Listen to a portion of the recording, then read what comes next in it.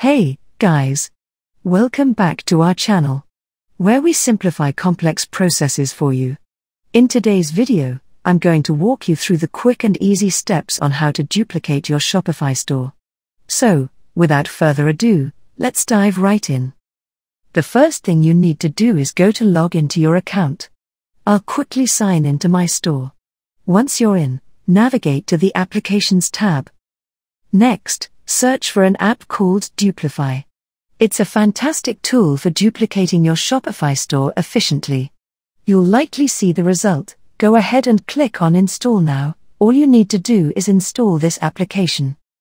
Once installed, open the app and follow the setup process. This application streamlines the duplication process into just a few clicks. Click on Get Started, select the appropriate export settings, and then click Next. Enter your destination store's install URL and email address. After that, hit the duplicate button.